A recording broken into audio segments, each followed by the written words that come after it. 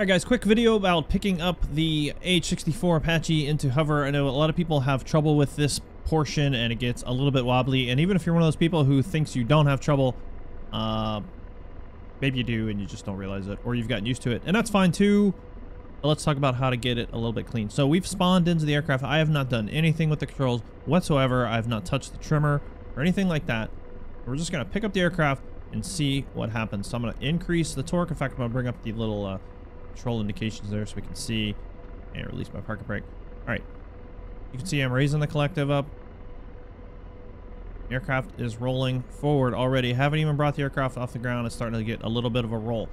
Okay, as I've been telling people from the beginning, uh, get the aircraft light, start moving your controls around, and start countering that stuff. So this time I'm going to bring the collective in. I can tell it's rolling. I'm going to bring the cyclic back just a tiny bit. All right, just a tiny bit. I'm going to arrest that roll. I'm still slowly increasing the collective. Now it's rolling a little bit to the right. All right, I'm going to move the cyclic to the left. All right, now we've got a little bit too much to the right. Okay, and this is where guys get a little bit messed up because they're handling the stuff one at a time. Right, and they're saying like, okay, I'm worried about this, I'm worried about that.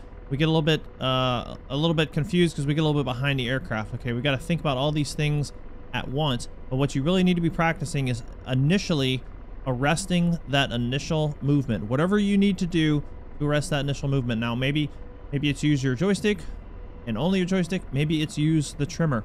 All right, so right now we've got a pretty stable hover. You know, that little circle, it doesn't need to be dead balls in the center of your line of sight cue, okay? It can it can be moving around just a little bit. You don't want it drifting off, but we're just gonna hold it right there kind of center, and that's okay. That's a good that's a good solid hover. If you can get that, then you're doing really well. But the issue is when we pick the aircraft up.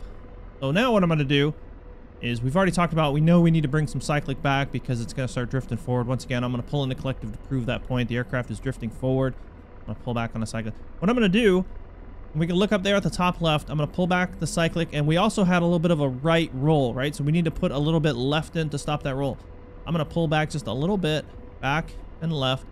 And I'm going to hit the trimmer. All right, so now I've trimmed the aircraft out. Sort of equalize that.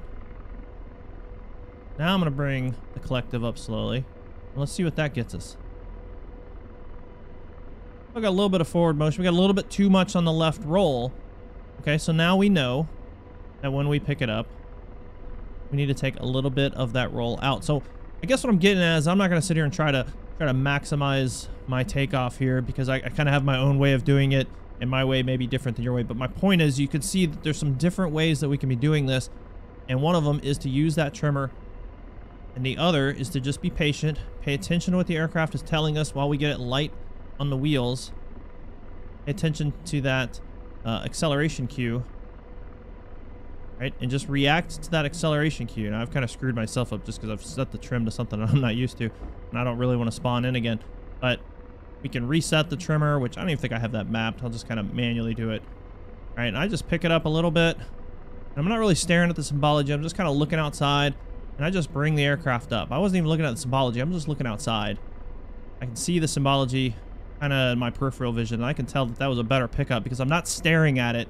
I'm not focused on it. I'm using it as a reference tool. Give me an idea, but my periphery is telling me what's going on too. Right? So anyway, just play around with the trimmer because if you can't pick it up stable, then what you're going to be doing is this number. You're going to be chasing the symbology around and, uh, and, and, and just overreacting to things. And next thing you know, you're going to be wobbling all over. You're going to lose, you're going to lose patience. You're going to get frustrated and you're going to go, uh, played with the Jets, which is lame. All right, thanks for watching. We'll see you.